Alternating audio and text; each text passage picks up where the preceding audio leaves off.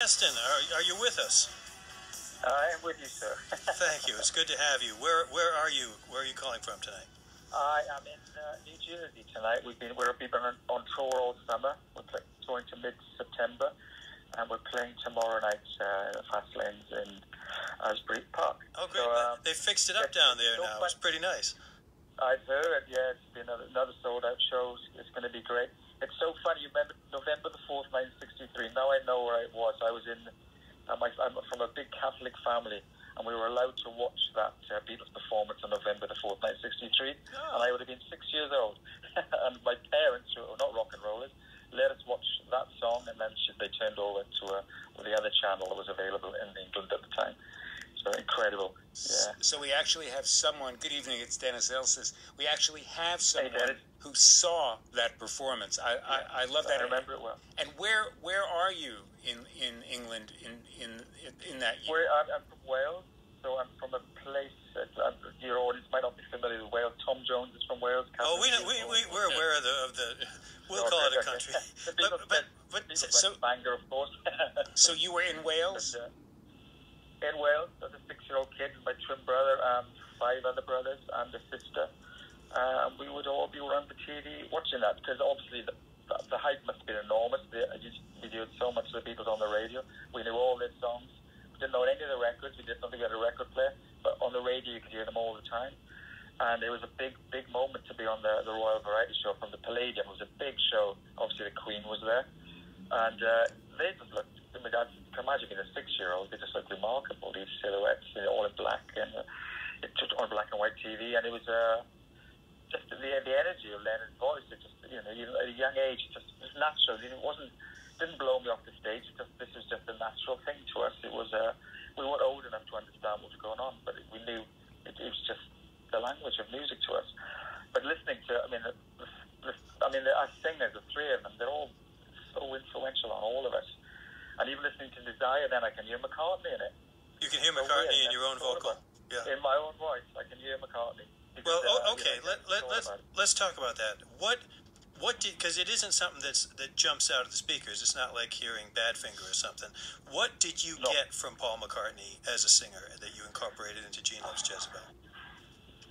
just just his effortless way. I mean, I don't know where he gets it from. You know, the way he can sing something like Helter Skelter or Hey Jude, and just drop up and down and screech those vocal chords, and yet come back down to a beautiful pure note as if it's nothing's happened. You know, it's it's unbelievable. Have you ever seen that thing where he's rehearsing with wings for the first time? It's on YouTube. Oh, yeah. My bass player is a huge, huge McCartney fan. You know, it's just their own Ram, and he works from Ram backwards. You know. And it was like you watch it, and Denny Laine is singing. Denny Laine's a good singer, you see McCartney goes to the mic and he's showing he's showing you he's the king. Yeah. He's a, an incredible singer. I mean, it's Well, I, I, I remember an article in the New Yorker a few years ago about the Beatles, and I can't remember who wrote it. I, I should I should find out. But uh, it made a great point. It said the most remarkable thing of all the remarkable things that had to happen for the Beatles to happen was that the two best songwriters of their generation would not just be born in the same neighborhood at the same time, Right. but would also be the two best singers of their generation.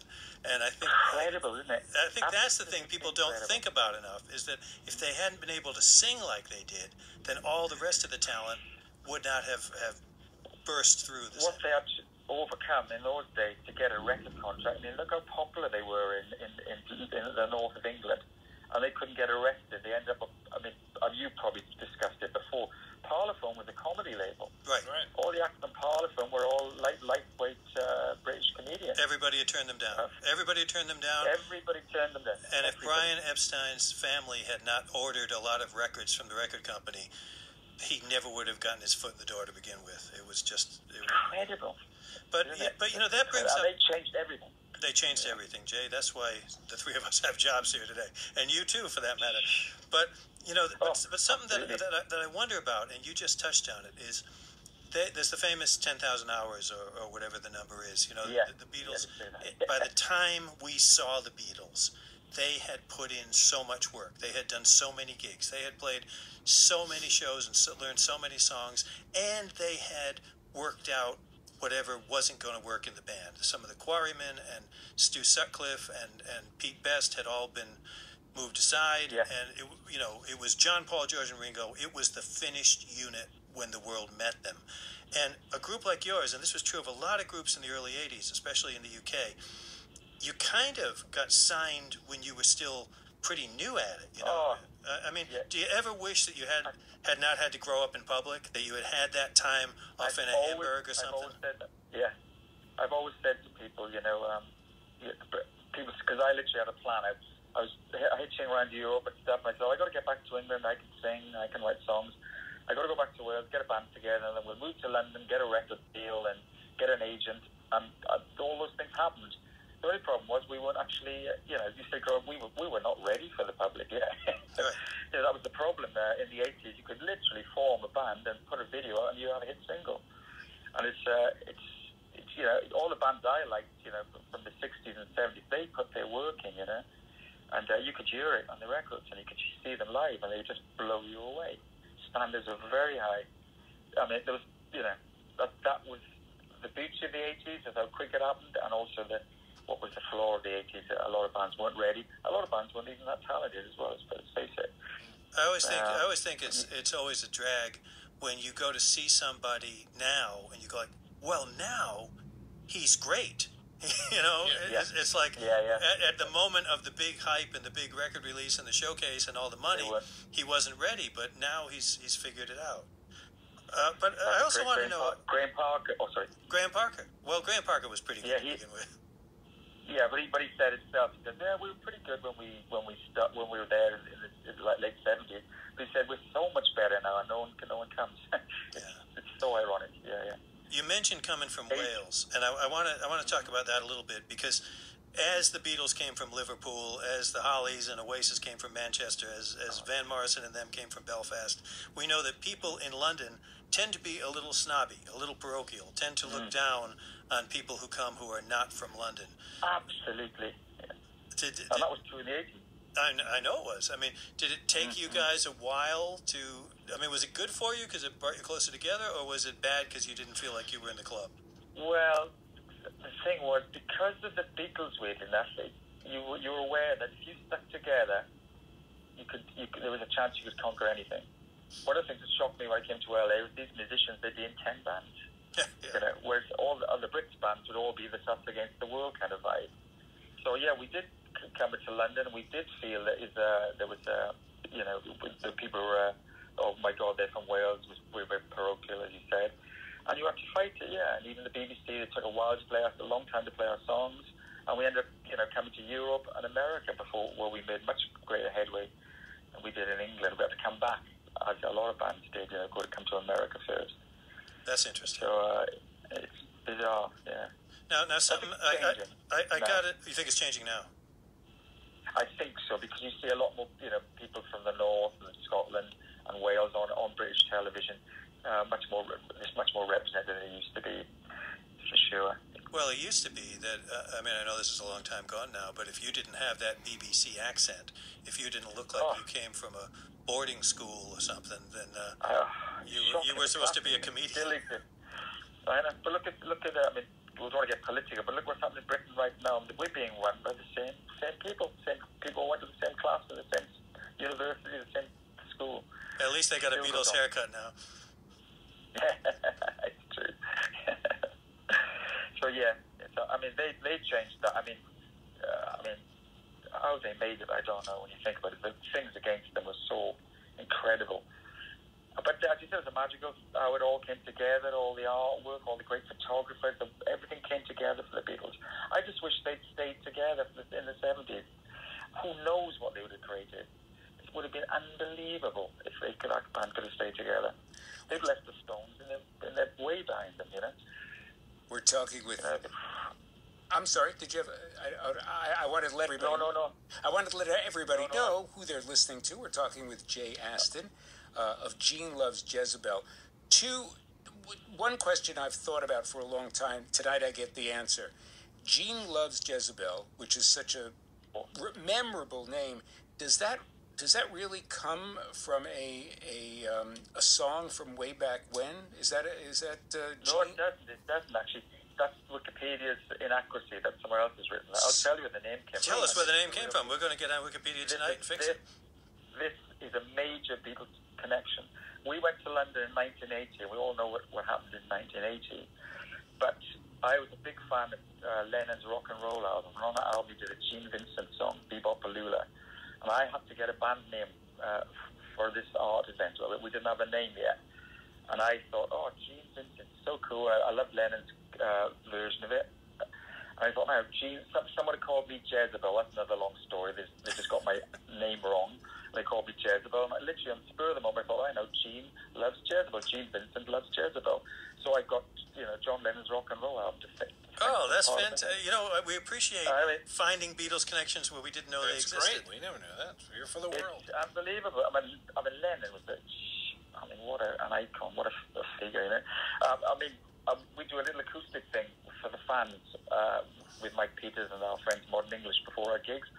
And Mike and I did uh, Working Class Hero together. And Mike does a great Lennon. You you just feel he's, he's, he's in, Lennon's inhabited in.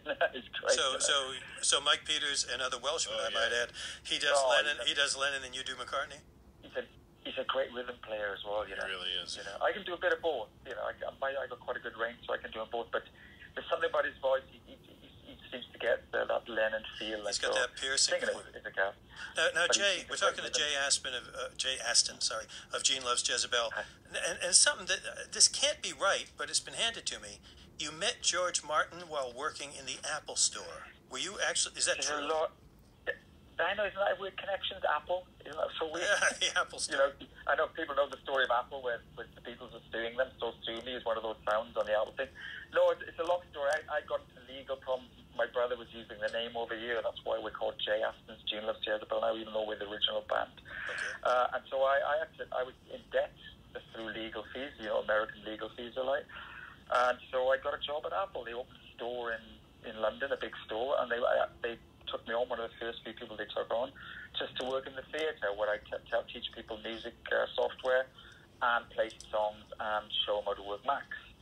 And we used to have events where people like REM would come in and artists would come in. And one night, I've forgotten the artist's name, it'll be in my diary, I keep diaries, you know, journals. Uh, and George Martin was there to, just to talk about his friend who, who had a little installation he was showing, which uh, they were doing a thing on. And I was in the theatre and I'd introduce people, you know, this is, you know, George or uh, and I, I've never approached famous people, especially people I look up to. And George Martin, to me, is someone that I can't can't believe on the same planet as him, you know. And a friend of mine who worked at Abbey Road, and I've been in studio too, by the way, he said to me, come on, Jay, come and meet George. And he just pulled me over, and I met him, and what a wonderful man. Incredibly lovely man uh, with his wife, and uh, just plenty of time for you, and just chatting. And I just remember his shoes, you know, he just, his shoes, he's a man that uh, didn't just wear new things all the time. He obviously loved his shoes, and he'd obviously resold them several times because they were old and well worn in. And, uh, A man who went to the cobbler, experience. got his shoes fixed. Yeah, somebody who knew the valleys from that time in the, when the Beatles came from. You know, that very post-war England, a very dark black and white time. They all talk about dismal, you know, and they just exploded. And uh, so he never forgot those valleys. He's probably always through them, you know. And you, you, I don't think you forget those things. Do You know the value of a good pair of shoes. Jay Aston, Gene Loves Jezebel. Now, you are on tour with your mates, you as you discussed it, uh, The Alarm and Modern English.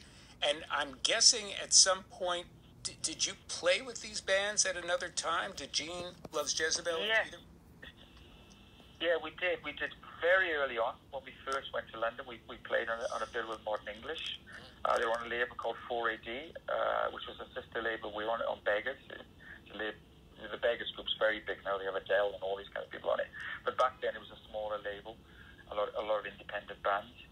Uh, so we played an early gig with them, and I even when I remember being with Ivor Russell Watts, who ran 4AD, and he sound bands like Bauhaus, uh, Birthday Party, and those kind of bands. And him, him saying to me, because I think we used to chat about music all the time, but uh, he said to me about all about modern English in the studio, and Hugh Jones, the producer, wanted some more money, and they were doing the song "Melt with You," which he hadn't heard yet. And he was worried about spending more money in the studio. So I think he got his money back. Yeah, really, I'll, I'll say. And this is this is quite a tour. You, you're at Asbury Park. You're at Asbury Lanes tomorrow, and then off to a theater in Staten Island called St. George, and then off to Yep. uh, Norfolk and Charlotte and Atlanta and Orlando and so on and so forth. Where can folks keep up with your current uh, musical projects and the uh, the dates on this tour if they want to catch it? Do you have a particular website? well, most people like to go to most people like to go to Facebook. So it's uh, Gene Loves Jezebel with Jay Aston on Facebook. okay. Or you can go to genelovesjezebel.co.uk, which is the, the the British. We're all from Britain, so the Gene- genelovesjezebel.com represents my brother, which is not the real band really. So um, Your, your identical twin brother. I mean, I don't want to get off on that, but the fact that identical twins Mm-hmm. Are big. both running Gene Loves Jezebels is, well, this is story for another time. What I really want to know It's about story before, for another time. before we let you go, Jay, is is it true you once almost crashed into Ringo's car? this is absolutely true. Yeah. Uh, Not, we were on- not Wikipedia, you know, false. Go ahead, this- tell, tell us the story. It's probably about 1986, maybe 87. I think it's about 86. But with uh, people might be familiar with London. Uh, it's a place called Walton Street. It's kind of Yeah, parallel yeah. to, to Fulham Fulham Road and uh, uh, Brompton Road. Yep. And we're just driving down there with my manager, lives in Chelsea, and I live in Earls Court on Old Brompton Road. She's probably giving me a ride home.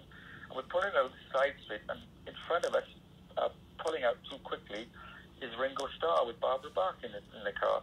And we almost hit them. And my my manager just about braked the time, and I said, man, that's, lo- I, I said, I do not want to be remembered for, you know, for bulldozing Oh, Uh, Ringo well, that would be the worst way to meet Beatle. Can you imagine? Oh, man. It's like, hey, listen, I'm a really big fan. I got a band. I Oh, got a tape God. here for you. That would have been bad. And another surreal thing as well, uh, around the time of Live 8, remember that thing, the Bob Geldof? I was 8, there. 8? I was there. Oh, you were there? Well, Yeah. the day before, McCartney must have been rehearsing, and I used to live in Maida Vale, you know, Little Yeah. Venice, beautiful area. If anyone's in London, they should visit it and uh, stroll up to uh, up to Abbey Road. But I was just strolling as I do because I walk a lot. I walk 15, 20 miles more stage if I can, because I just love You walk 15 or 20 And I miles was on one of Good for you. Yeah, sometimes 30. Uh, but 20 is about fun for me. But I have a lot of energy. I don't know to do that. That's why I'm in a band, I guess. I, I don't stop moving. But I was just walking to college down in News. Those, those were the News. Who should be there but Paul McCartney? Just drive on me walking one side, him walking the other. I did not say anything, didn't look at him, didn't want to bother him, you know. But it was just incredible to be that kid of six years old watching on TV, into your whole life, all the Beatles stuff, all the stuff we had for Christmas, like guitars with Beatles faces on. You know, iron filing used to be a magnet to put their he- Beatles haircuts on. Yeah, actually, You know, I remember that. I forgot about that. stuff. Selling to the kids, you know. I think it's so. I just remember thinking to my mum, used to give this to kids. so, but uh, it was, and there he was in the flesh, you know. I mean, uh, awesome. Jay, we love the story you told earlier about the band and the inspiration for the name, and uh, ha- and and Gene Vincent and and and the the, uh, the John Lennon cover of the Gene Vincent song. So uh, we quickly pulled that song out, and we are going to close our segment as we say goodnight to uh, Jay Aston Oh, of Gene Loves Jezebel on tour currently with The Alarm and Modern English, and they are touring quite a bit, so a lot of opportunities to see them.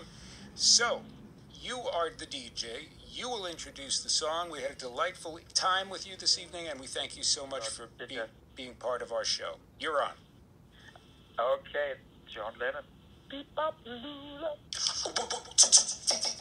Well,